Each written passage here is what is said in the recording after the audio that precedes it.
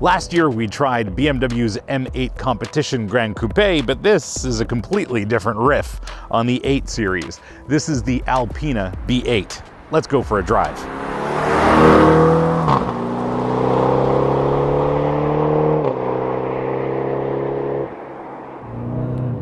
Gotta love that. I'm your host, Brian Makse, racing driver, lover of driving fast, fun things. And on this channel, you get reviews for drivers from drivers.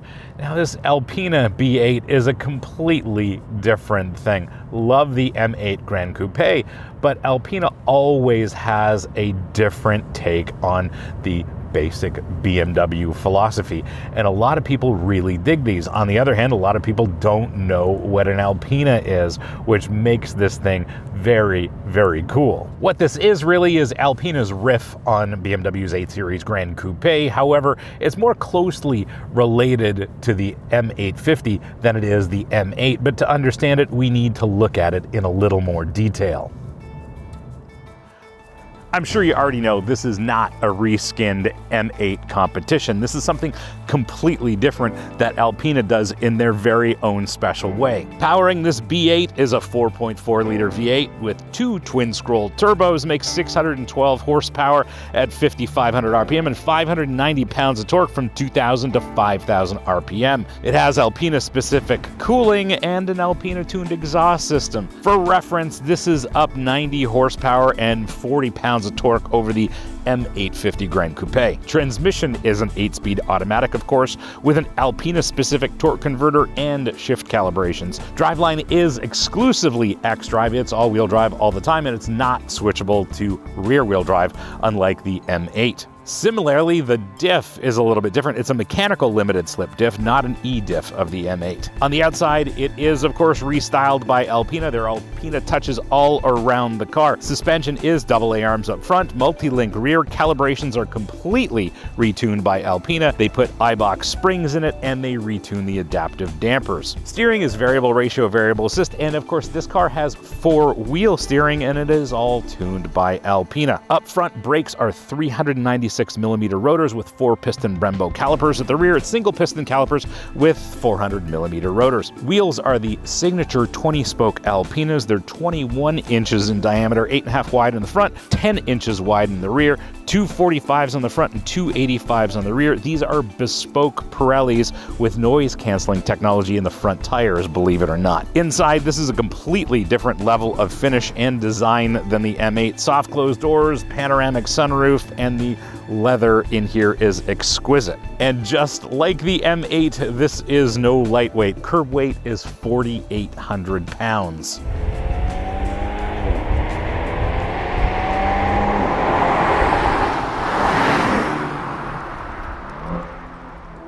It is indeed that time in the episode for how to spec your Alpina B8. Base price in the United States is $139,900. In Canada, it's $159,900. What you're looking at is Alpina's signature green metallic and ivory and tartufo full merino leather. This one is fully equipped with all the driver assist systems, sunshades, ventilated seats, frickin' laser beam headlamps, the Bowers and Wilkins sound system, and of course that full merino leather. Considering that this is 2021 and BMW does indeed product plan things differently in Canada and the United States, you can't get this specification in the US. So fully equipped, you can get a B8 at $143,795, but it doesn't have all of the options as this particular car. Here here in Canada, fully equipped, it's $176,650. Now, how do you spec yours? Well, it's pretty simple. Get all of the options that you want. I do like the way this is equipped, especially with the advanced driver assist, and you have to get one of the signature Alpina colors if you're going to get an Alpina B8. Like all modern BMWs, the cockpit is just about perfect. My relationship to the car is just perfect. This seat is fantastic. My relationship to the wheel and to the pedals is wonderful as well. I'm very, very comfortable here. What I do love is the different shape of the wheel. It is that larger rim diameter that BMW M cars seem to favor, but it is trimmed a little bit differently and it's got Alpina's signature green and blue stitching on it as well. Instead of shift paddles, it's got shift buttons on the back of the wheel. And what I find is that discourages me from using the shift buttons, and I'm not really shifting on my own. What I do is instead rely on one of the car's drive programs like Sport or the Sport Plus to do its thing. And in that way, I'm very happy. This isn't an M car, and I suppose that's why it's got shift buttons instead of shift paddles. And I love these seats, by the way. Lots of adjustment in them. I'm very comfortable, very supportive. Even on long drives, this is a joy to pilot. I just love this. But what is impressive from this position, and I suppose when you have passengers on board, they're going to love the way the interior of this Alpina is finished. It is at an entirely different level and it is absolutely gorgeous in here. One thing worth noting is that this shifter is more of a traditional BMW shifter, not an M shifter, because this is not an M car, my friends.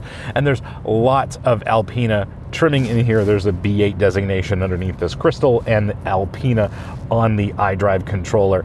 It is a different experience being in this B8 rather than an typical BMW M car, for example. In terms of spaciousness, it's no different than any other 8 Series Gran Coupe, except that it, it is more finely finished in here.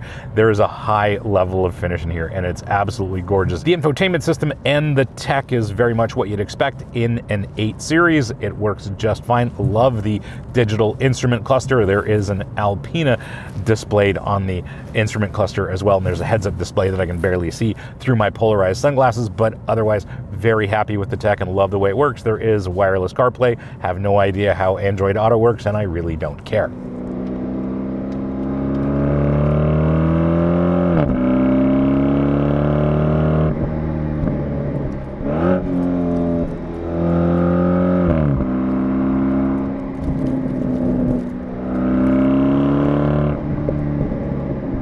here's the thing even though this isn't a hardcore M car, it'll do 0 to 60 in the low to mid threes, and it'll top out at 201 miles an hour.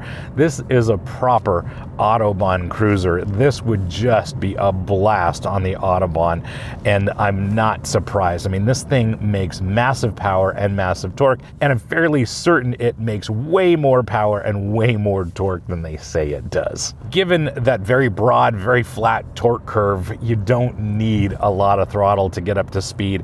The overall driving experience is really dominated by all the torque that it makes. And of course, it does make its peak power very high in the rev range, so it is rewarding to run this to redline, although I haven't really done that. This is more of a luxurious grand touring kind of driving experience more than a hardcore M car, and for that reason, this is a completely different product than the M8, that's for sure. The overall driving experience is a little quieter than an M8 as well, and Alpina says that these bespoke Pirellis have a little bit of noise canceling tech going on on the front tires, and I have to say that kind of works. It's very quiet in here.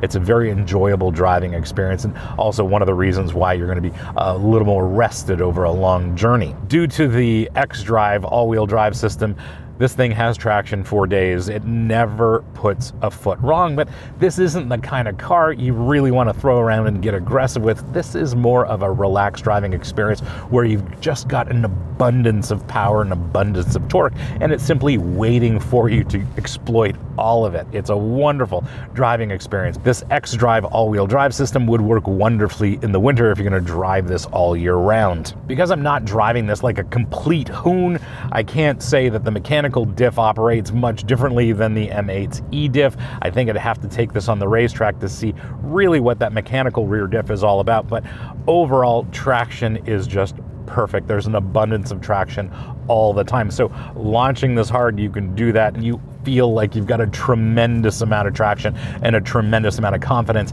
in this B8's ability to put down its power.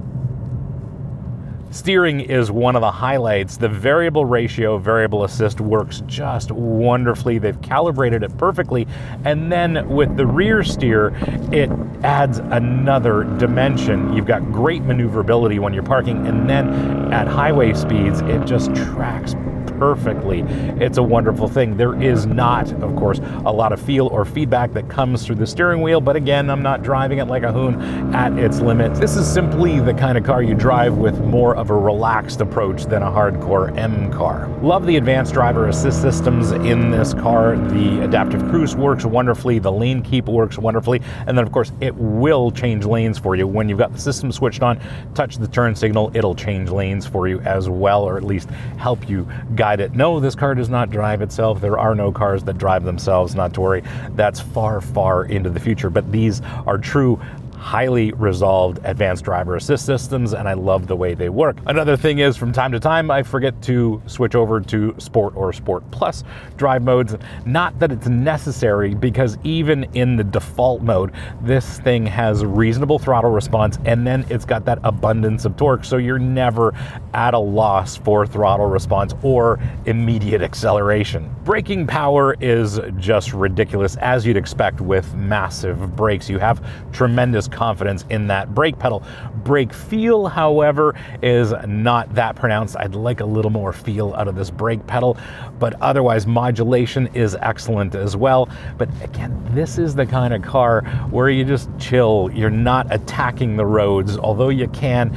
It isn't a hardcore M car, as I keep saying, but it is still very satisfying to drive. Ride and handling of this B8 is a highlight, and the reason is because Alpina has carefully tuned tuned everything for a wonderful balance between ride and handling. It is very comfortable, certainly much more comfortable than the M8 competition that we drove.